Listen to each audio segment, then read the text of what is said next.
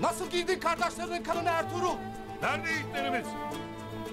Canlarımız gitti be. Aslanlarım nerede? Alplerimizi neden katlettin beyim?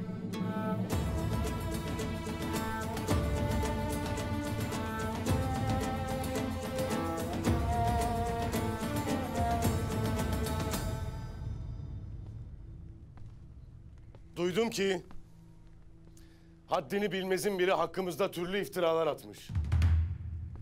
Yetmemiş, yalancı şahitlerle, sahte delillerle yalanına yalan katmış.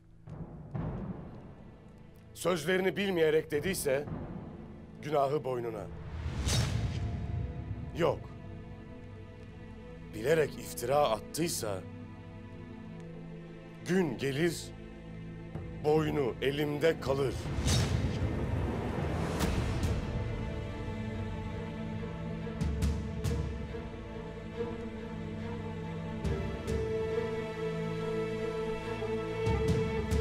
Neymiş?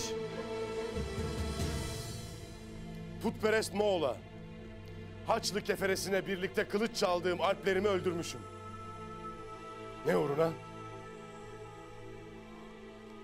Bir hiç uğruna. İftira, yiğidin etini sıkılaştırır. İmanını da güçlendirir. Yalnız, buna inanan kardeşlerim yok mu?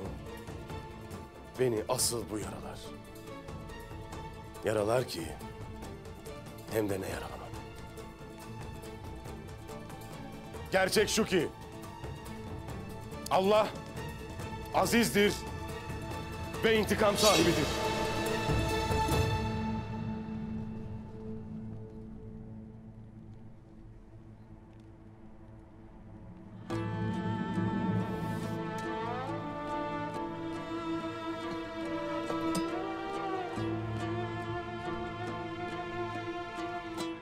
Bu iftiraya hala inananlar varsa kılıcımı alsın ve hemen boynumu kessin.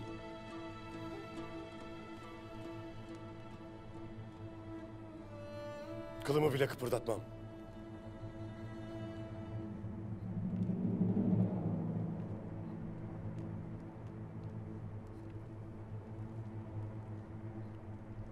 Buna inananlarla aynı toprağa basıp aynı havayı solumaktansa ölmem yeğdir.